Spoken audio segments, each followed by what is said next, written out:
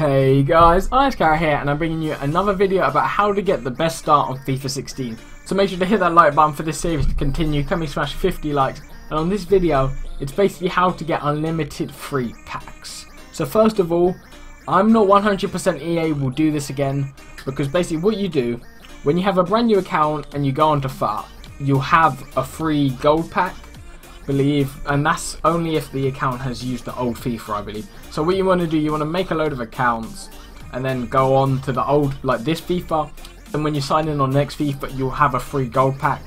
I believe it's like a, it isn't really the best pack, I think it's all player pack as well, but that is the first thing. So you can get unlimited packs, which is good, and also it will get you some players to get started on the game. But one thing, I am not 100% sure the players will be tradable so don't hate on me if the well transferred Van Persie. I'll take it. I literally just bought him. Is he still extinct? Oh no, there's a couple of him, but, but I'll take it. Transferred Van Persie. So, um, I'm not 100% sure the players will be tradable because people can exploit this. But even if the players are untradeable, you're getting yourself 11 decent. Well, I'm not sure if it's 11, but you're getting yourself like half a squad of actual decent players for when you start the game. So you think, you just log on with your account, well, make sure, like, say if you have FIFA 15 now, or say your friend has it, make sure he logs on, say, with your account on this FIFA, so you get your pack next FIFA.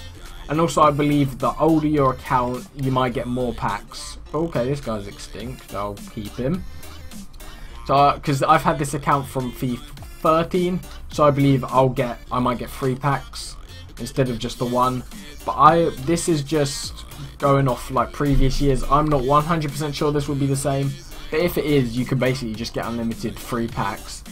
But I'm, I, I'm not 100% sure they'll be tradable. In my opinion, I reckon EA will make them untradeable, but you never actually know. They might screw up and make them tradable and then you can get unlimited coins.